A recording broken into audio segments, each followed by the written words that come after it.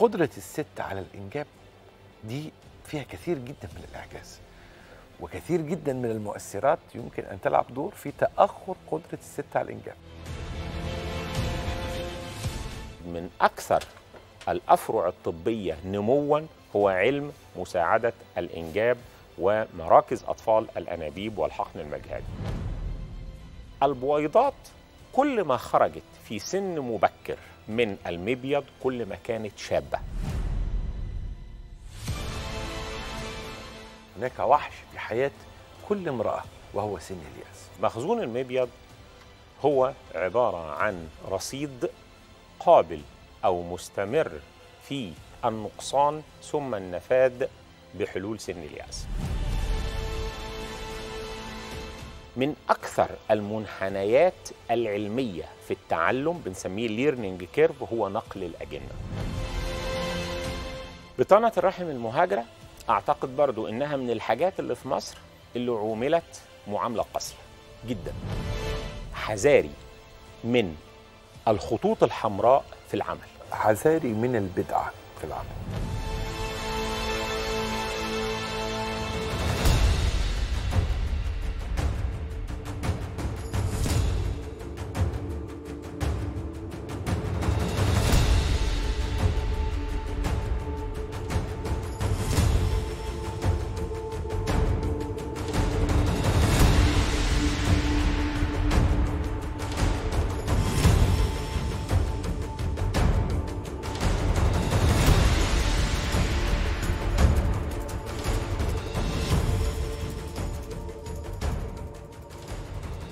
أهلا بيكم واحدة من أهم حلقاتنا على الإطلاق مع واحد من أهم ضيوفنا على الإطلاق. العلم يا جماعة وخصوصا لما يكون آه، لفترات طويلة يعني الخبرة تلعب دور مهم جدا مع هذا العلم. والخبرة والعلم آه، وجهان لعملة واحدة. في النهاية الهدف هو مصلحة المريض. هناك دروس كثيرة تظل وتوجد على طريق هذا العلم. بارزة تعبر عن محطات مهمة جدا. هذه الدروس قد تكون منها دروس مفرحة ومنها أحيانا محطات أو دروس قاسية منها آه، لحظات آه، فرح ومنها أيضا لحظات من الخسارة ولحظات من التركيز الشديد جدا على خطأ معين أو شيء معين حصل في تجربة لم تؤتي ثمارها بالشكل المطلوب. هذه هي معنى كلمة الخبرة المرتبطة بالعلم سنوات طويلة. العلم الطبي. لكن ونحن نتحدث عن معنى العلم الطبي المرتبط بالحقل المجهري. الموضوع فيه الكثير جدا من النقاط التي تقف أمامها بكلمة هامة جدا. هي أهم كلمة في الوجود وهو سبحان الله. سبحان الله كلمة عظيمة للغاية. وللأسف الكثير منا يستخدمها ربما بطريقة خاطئة جدا وأنا آه، أكرر أنه سبحان الله و- أعظم كلمة واحدة من أعظم الكلمات في الحياة ينبغي أن توضع في مكانها. عندما ترى هذه التكوينة الجميلة للجنين بويضة حيوان منوي عشان تشوف عظمة الخالق سبحانه. بدأوا من لا شيء. خلايا محدودة جدا أمام عينيك بيكبروا ويحصل إنهم يتحولوا إلى جنين. سبحان الله. لما ناس ست وزوجها حبوا بعض جوزوا عاشوا على مودة ورحمة ولكن مفيش خلفة. هم نفسهم يخلفوا. في ناس تانية ربما الأمور بالنسبة لهم عادي. يعني إحنا بنحب بعض مكملين حياتنا بدون خلفة إحنا سعداء. لكن في ناس كل واحد له ظروفه. فالبيت متأثر في حزن وحاولوا محاولات عديدة للحمل سواء حمل طبيعي أو بطريقة أطفال الأنابيب أو حقن مجهري وفشلت المحاولات. وبدأ اليأس يدخل إلى قلوب الزوجين. ثم تأتي معجزة من الله عز وجل فنقول سبحان الله. عندما نرى من ربنا على البشرية؟ بعلم معقد جدا وبعلم شديد الأهمية. تعرف معنى الخلق؟ إن ربنا سبحانه وتعالى لما في بداية الخلق وذكر القرآن إنه علم آدم الأسماء كلها. إحنا بننظر لهذا المعنى على إنه الأسماء أسماء الأشياء. لكن أنا اعتقادا واجتهادا مني قد اكون مصيب وقد اكون مخطئ أنا اعتقد إنه العلم كله علم آدم الأسماء كلها معناها كل العلوم. هو ربنا اللي علمها لنا عطاء ربنا لينا. خلق كائن اللي هو الإنسان دائم البحث عن العلم ودائم التعلم ودائم النهم وعنده حاجة مهمة جدا ده البشر الإنسان. عنده رغبة كبيرة جدا من الاستفادة من أخطائه. النهارده المعنى ده صحيح يبدو فلسفي لكن إحنا هنطبقه على شكل علمي لكن لا يخلو أكيد من قدر من الفلسفة العلمية. ضيفي العزيز واحد من رواد هذا العالم اللي النهارده بسعد بوجوده معنا في الناس الحلوة دائما بيبهرني ودائما بينتظر مش أنا بس جموع الأطباء المتخصصين في عالم الحقل المجاري أكيد بينتظروا هذه الحلقات. من الرائد القدير والاسم الكبير الأستاذ الدكتور محمود الشافعي آه، صاحب دكتوراه أمراض النساء والتوليد وتأخر الإنجاب وعلاج تأخر الإنجاب وصاحب زمالة أمراض النساء والتوليد والامراض ومن جامعه ستالنبوش بجنوب أفريقيا زمالة أطفال الأنابيب والحقل المجاري من جامعه بورتو البرتغاليه أستاذ علاج تأخر الإنجاب واطفال الأنابيب بكليه الطب والمؤلف للأطلس العالمي لدراسات البويضات بالمجهل الإلكتروني آه، ببريطانيا والولايات المتحدة الأمريكية والمدير والمؤسس لمركز زينة لمراكز زينة زينة الحياة للخصوبة وأطفال الأنابيب آه، الاسم الكبير. أهلا بيك. أهلاً بحضرتك. منورنا. ميرسي خالص. تسلم. هبدأ الأول بفلسفة الدروس المستفادة. يعني خبرات طويلة آه، 30 سنة أو أكثر ربما أكثر. مش عايز أكبرك بس ده 30. الواقع. 30 سنة مم. آه، عمر تاني.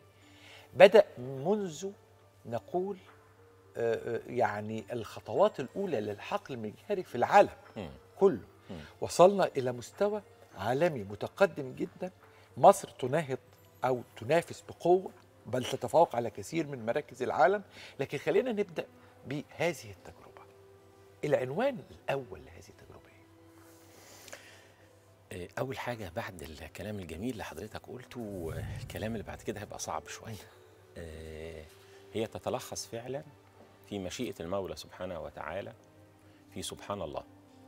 إحنا مجرد سبب لأن ربنا يدي الناس إرادته في رزقه أو الرزق المرسل إليهم في الأولاد.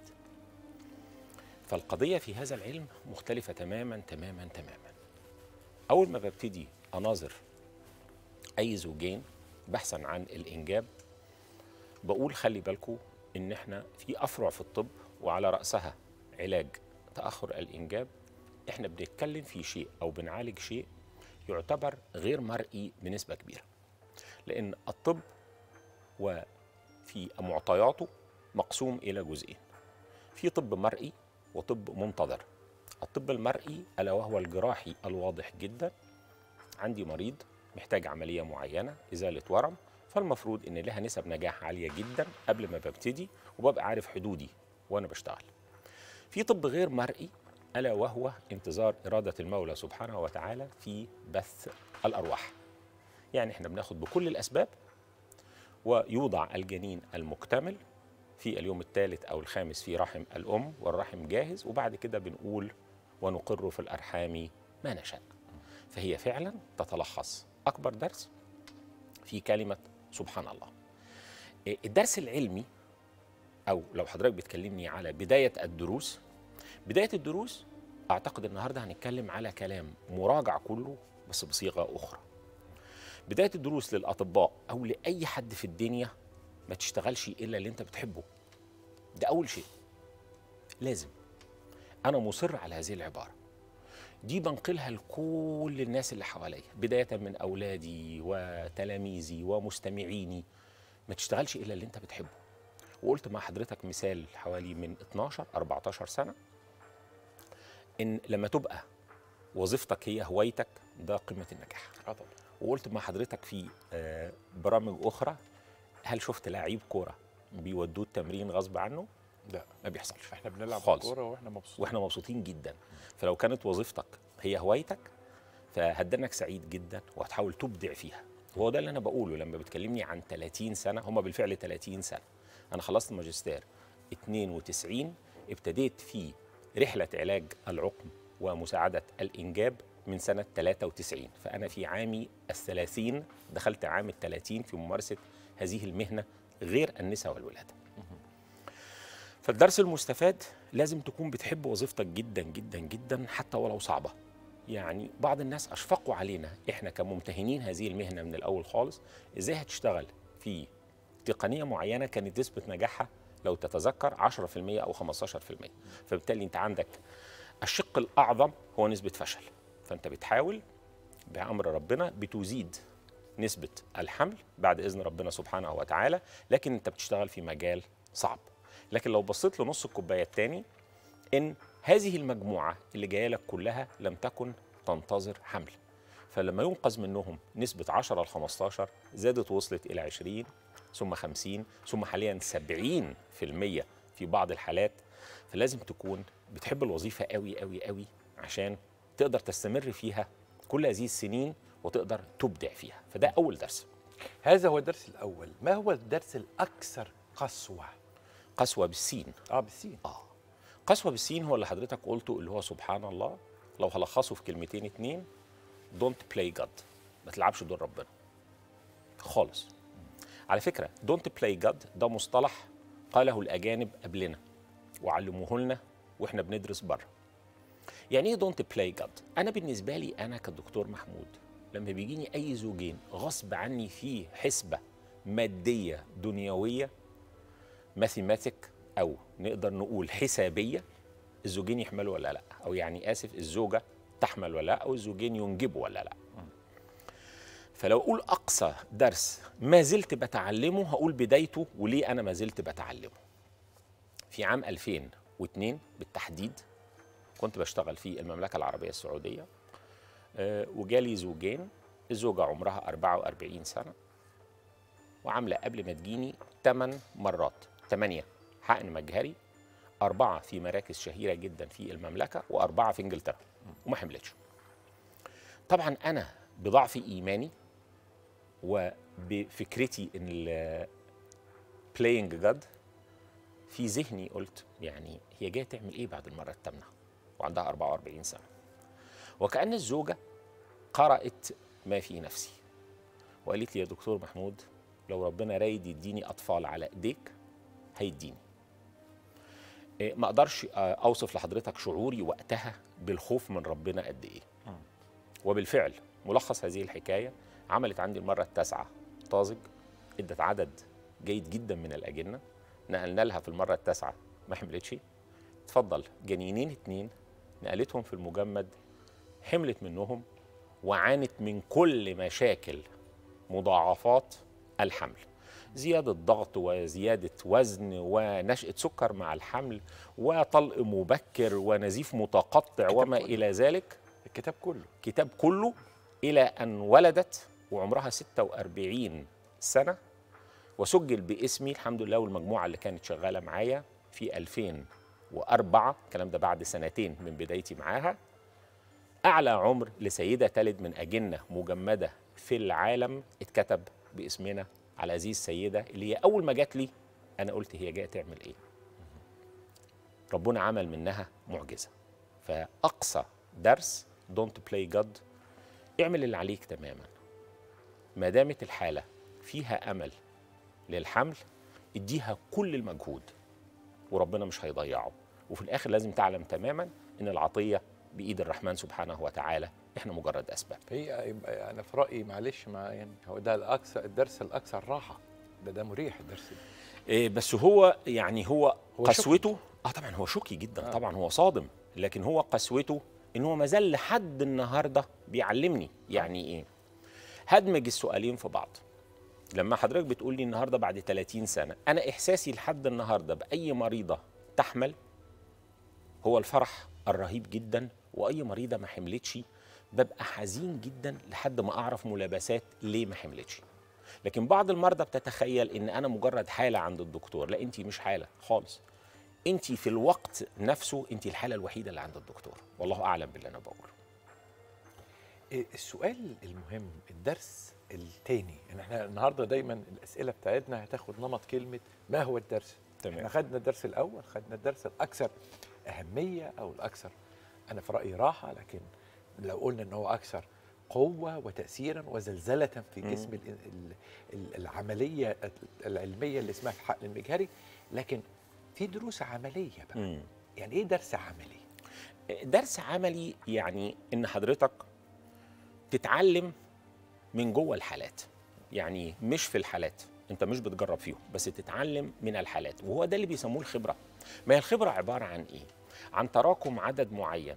من الحالات حضرتك أجرتها مش لازم تكون طبيب. أنا بتكلم على مواقف حضرتك مريت بيها في حياتك في مهنتك.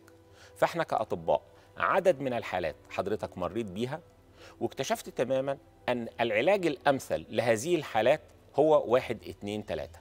فلما أجي النهارده أقول الدرس العملي الكبير الإطار اللي أنا هتكلم فيه إن مفيش برنامج علاجي ثابت واحد لنفس المرضى. يعني إيه؟ يعني دائما ابدا إحنا عندنا أطر كبيرة شغالين فيها. البرامج عبارة عن برنامج قصير الأجل وبرنامج طويل الأجل. طويل بيبدأ من يوم الواحد وعشرين في الدورة السابقة ويبدأ مع بداية الدورة وينتهي مع تبويض الدورة القادمة والقصير يبدأ مع بداية الدورة وينتهي عند أيام التبييض. ده الإطار العام. لكن جوه هذا الإطار كل مريضة لازم يتفصل لها وبقول كلمة يتفصل لها يعني يتفصل لها برنامج معين.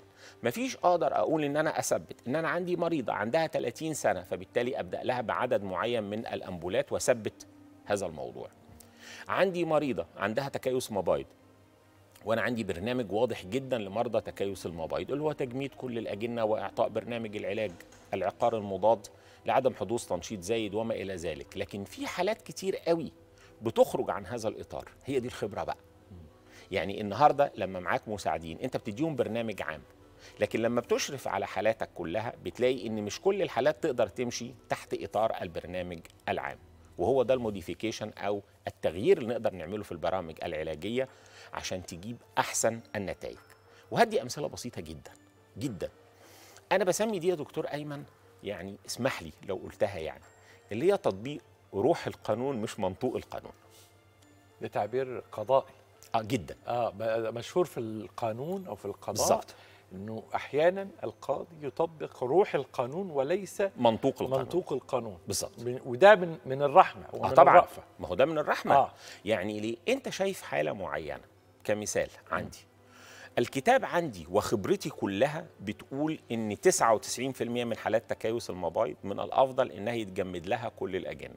تيجي لك حالات ماشية برتم هادي جدا ومن الممكن إنك تحاول تنقل لها جنين واحد في اليوم الخامس بدون أخذ مخاطرة ومتابعة جيدة جدا جدا جدا ويحصل حمل والدنيا تستقر وتبقى نقلت في التجربة الطازجة. هي كده ما خرجتش بره القانون لأن إحنا زمان كنا بننقل لكل الناس في التجربة الطازجة.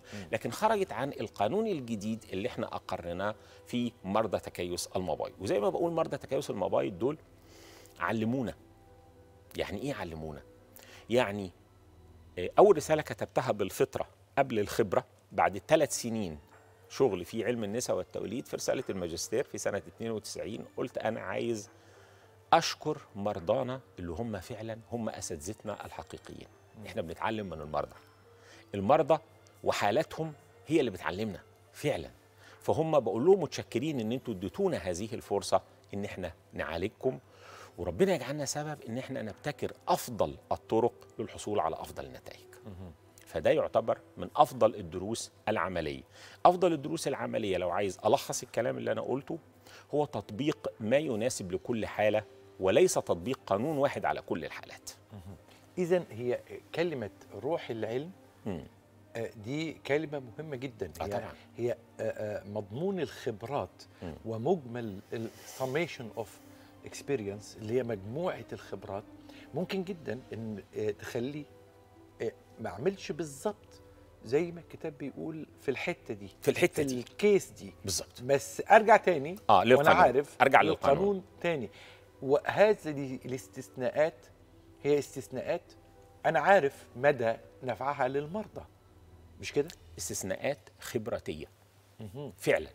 هي فعلا لما أنا بستثني بستثني من غير ما آخد مخاطرة لكن بحاول أدي أفضل فرصة للمريضة في هذه التجربة في مقالة آه، أو آه، بحث حضرتك قدمته سنة 2008 من 14 من سنه 14 سنة آه. وكانت بداية لقاءاتنا يعني تمام. آه يعني كانت في آه آه آه 2008 أعتقد أول لقاء عملناه مع. تمام مم. كتبت فيه إنه هل مقولة كبيرة جدا أنا هذكرها لك بالنص التي ذكر عشان ما احرفهاش كتبته يعني. فين؟ في مقال علمي ولا في, مقال- جريدة ولا لا فين؟ ده في في في صحفي في صحيفة رسمية في إحدى آه، الصحف. الرسمية. قلت فيه إنه هل الحاضنات الصناعيه أحن أيوه. على الأجنة أم رحم الأم؟ أكثر حنانا عليهم آه. ماذا كانت الإجابة؟ وقتها ولا دلوقتي؟ لا يعني إيه إيه اللي خطر في دماغنا إن إحنا نكتب هذا المعنى مم. آه، اولا أنا بشكر لحضرتك إنك عامل لي أرشيف عندك آه، هو فعلا الكلام ده أنا ارشيف كتبته أرشيف ذكريات لأن إحنا عشناه يعني تمام. أنا فاكر كويس جدا إنه دي واحدة من الأسباب الأساسية اللي إحنا عملنا لك دعوة في. الوقت ده آه، آه، على فكرة هذا المقال أنا معلقه عندي في المركز م. لحد النهارده هو فعلا كان في ديسمبر 2008 وأنا كتبت فعلا بعد الجدل واللغط الكبير اللي حصل على ننقل الاجنه في اليوم الثالث ولا في اليوم الخامس مع بداية صيحة حضانات اليوم الخامس. فهل فعلا حاضنات الصناعية اللي هي حضانات ثاني أكسيد الكربون اللي عندنا اللي هي كانت ثنائية ثم ثلاثية ثم حضانات يوم خامس هل هي فعلا أحن على الجنين من رحم الأم ولا أدخل الجنين بدري عشان الرحم أحن عليه من الحضانة؟ طبعا السؤال إجابته صعبة أو كانت صعبة في الأول لسبب لأنك لا يمكن تجري التجربتين في نفس الوقت. يعني لا يمكن تحط نفس الجنين في الحضانة ونفس الجنين تنقله بدري للأم. لكن هي برضو زي ما بقول مجمل خبرات سنين. الإجابة كانت بالفعل أن رحم الأم أحن على الأجنة من الحاضنات الصناعية. هدي أمثال إحنا نشأ عندنا صيحة زمان بس ابتدت الناس أو الأطباء يفطنوا لصحتها أو خطأها اللي هي لازم تنقل كل الأجنة في اليوم الخامس وما ينفعش تنقل جنين قبل اليوم الخامس. أول شيء عايز أنوه بيه إن أول طفلة ولدت ألا وهي لويس براون سنة 78 ما كانتش يوم خامس خالص كانت يوم تاني مش تالت كمان. دي حاجة. الحاجة التانية المهم في ذلك تجربتنا قالت الآتي. الجنين اليوم الخامس له فايدة واحدة بس إنه بيقلل عدد التوائم. لأن أنا لما باجي لليوم الخامس فأنا بنقل عدد أقل من الأجنة من اللي أنا بنقلها في اليوم الثالث أنا بقى هنا النهاردة دي كانت الإجابة أو الإطار الكبير للإجابة في 2008 ودنتها معايا لحد 2010 ودنتها معايا لحد سنتين فاتوا. النهارده بقى أنا عايز أؤكد على الإجابة إن رحم الأم أحن على الأجنة من الحضانات لكن في عبارة تانية بقولها عند حضرتك لأول مرة. خلي الرحم هو اللي يختار يوم نقل الأجنة مش أنت اللي تختاره. عبارة غريبة شوية.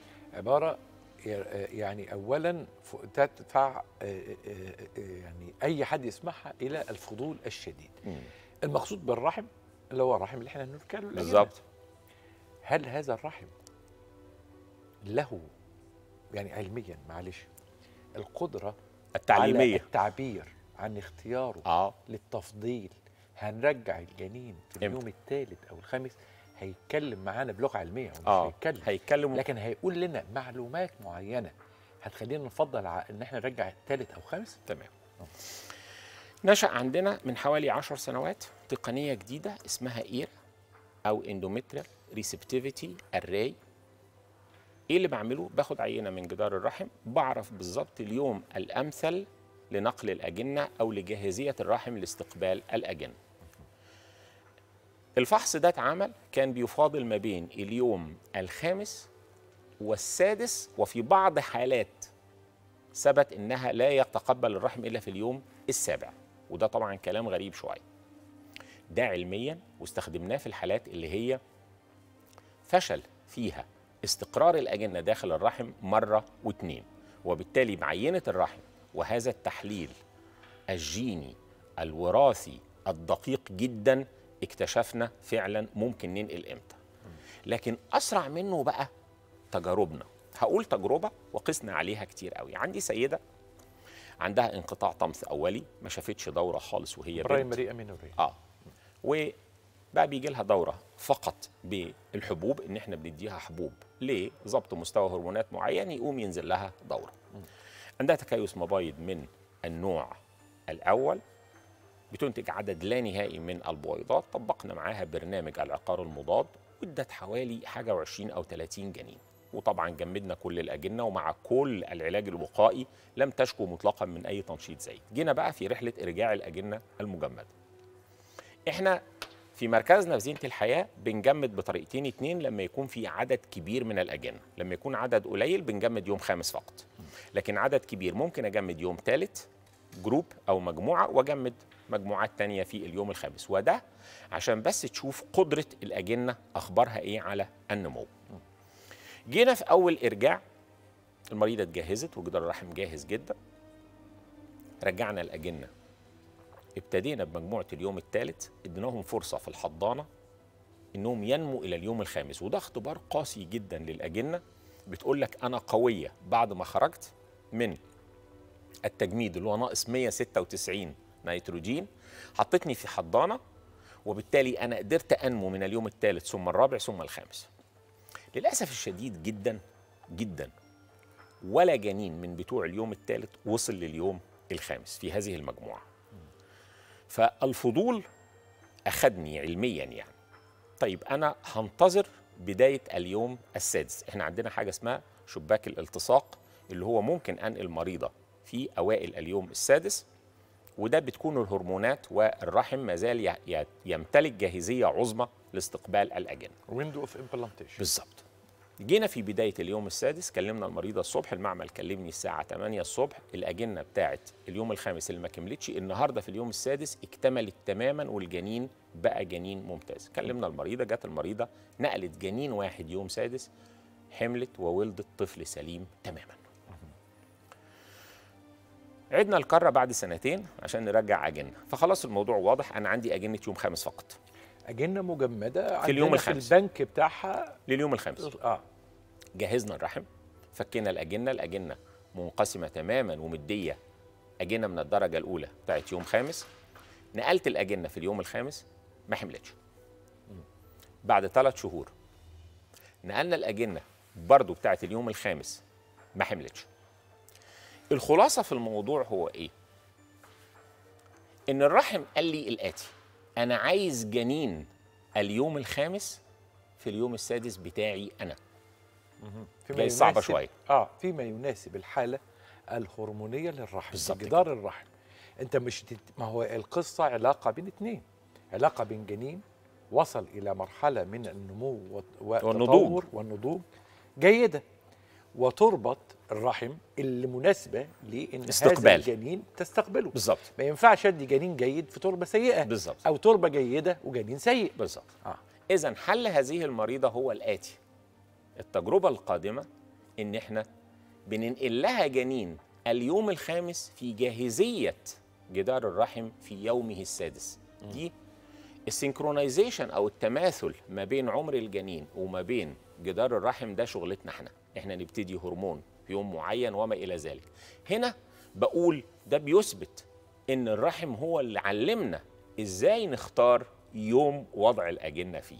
فبالتالي لو بستخدم إطار عام ما أقدرش أعممه لكن هل من الممكن تكون الحاضنات الصناعية أقل امانا على الرحم من الجدار؟ آه طبعا هي أقل اماما. ليه؟ لأن الرحم يعلم تماما مدى جاهزيته لاستقبال الأجنة. فبالتالي هذا الرحم كلمني قال لي بالتحديد هات لي جنيني اليوم الخامس المكتمل عندك بس في يومي أنا السادس. أنت نورتنا يا فندم. وسعدنا بهذا اللقاء على مدار يعني آه، الحلقتين آه، والجزئين الهامين جدا في هذا الحوار الممتع مع القمة العلمية الكبيرة والاسم الرائد اللي بنفتخر بوجوده في الناس الحلوة. ربنا. وأي نافذة تفتخر بوجودك فيها. تسلم. أشكرك شكرا جزيلا. وعايزك تنهي حوارنا بكلمة لفريق العمل بتاعك في زينة الحياة. لازم أشكر فريق العمل لأن فعلا الدكتور محمود مش أكتر من ممثل لفريق العمل مش هو اللي بيشتغل لوحده. وزي ما قلت زمان فريق العمل في مركز أطفال أنابيب بيبدأ من باب المركز اللي واخد باله من نظافه باب المركز لحد أدق تقنية جوه مختبر أطفال الأنابيب كلهم متماثلين في الأداء الممتاز. شكرا وأنا من غيركم ما انجحش نورت وشرفت وأبدعت. شكراً. ضيفي العزيز الرائد القدير والاسم الكبير لعالم أطفال الأنابيب والحقل المجاري الأستاذ الدكتور محمود الشافعي صاحب دكتوراه أمراض النساء والتوليد وتأخر الإنجاب وزميلة أمراض النساء والتوليد من جامعة ستالنبوش الجنوب أفريقية وزميلة أطفال الأنابيب والحقل المجهري من جامعة بورتو البرتغالية وأستاذ علاج تأخر الإنجاب وأطفال الأنابيب بكلية الطب المؤلف لأطلس العالمي لدراسات المبيضات بالمجال الإلكتروني بالناشر ببريطانيا والولايات المتحدة الأمريكية والمدير لمراكز زينة الحياة للخصوبة وتأخر الإنجاب وأطفال الأنابيب كان ضيفي في واحدة من حلقاتنا الراقية جدا. ده الجزء الثاني لازم تتابعوا الجزئين مع بعض في الناس الحلوة. خليكم مع الناس الحلوة.